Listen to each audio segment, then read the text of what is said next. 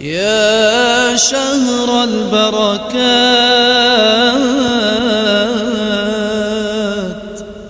يا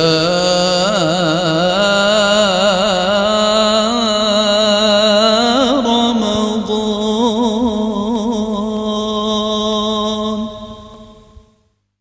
السلام عليكم ورحمة الله وبركاته.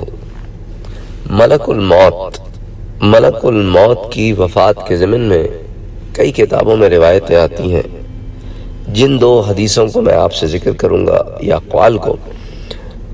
یہ موسیع کتاب ہے ابن ابی دنیا کی۔ اس کے کتاب ذکر الموت میں باب ہے الخوف من اللہ۔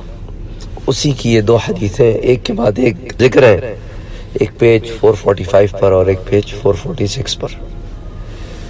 پہلی حضرت سیدنا محمد بن کعب قریضی رحمت اللہ علیہ نے فرمایا کہ مجھے یہ بات پہنچی ہے کہ سب سے آخر میں ملک الموت وفات پائیں گے۔ ان سے فرمایا جائے گا، اے ملک الموت، مر جائیے۔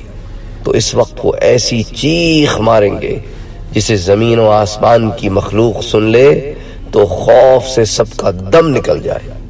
کیونکہ اس وقت کوئی مخلوق تو زندہ ہوگی نہیں اگر ہوگی اگر ہوتی تو اتنی زور کی چیخ ہوتی کہ اس چیخ سے دم نکل جاتا۔ مزید برا پھر سیدنا ملک الموت علیہ السلام وفات پا جائیں گے۔ موسیع ابن ابی دنیا میں باب الخوف من اللہ، اس کے تحت حدیث 167 168 جو اس کی اگلی والی بات ہے، وہ بھی قول ہے، حضرت زیاد نمیری رحمت اللہ علیہ کا۔ وہ فرماتے ہیں کہ میں نے ایک کتاب میں پڑھا۔